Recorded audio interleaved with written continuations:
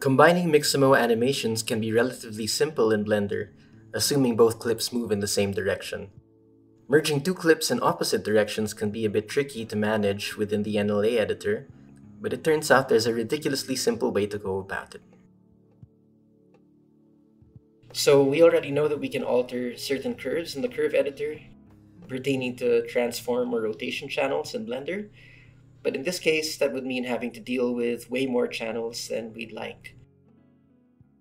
A quick and dirty way I found would be to create an empty, take the whole armature and parent it to the empty, and then we can rotate the empty first to the desired orientation, so we'll do it along the z-axis, and then we can apply the rotation of the empty.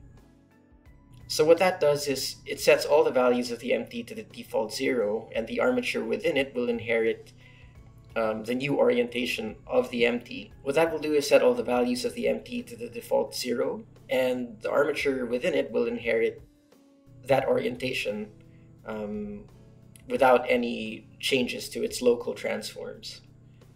So at this point, we can combine our animation like we normally do. So we'll just head over to our NLA animation editor, push down both of the actions, and we'll just choose one of the armatures that we're going to use to bring the other action from the other armature into. We'll offset the forward direction curve on the second clip, so our character begins the clip where the previous clip ends.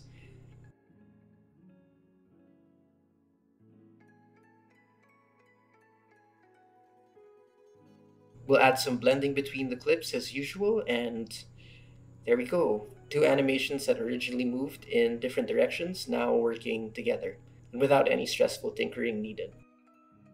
And that's it for this quick tip. Um, I'm sorry I got back to your question so late, but I hope this helps, and as always, happy rendering.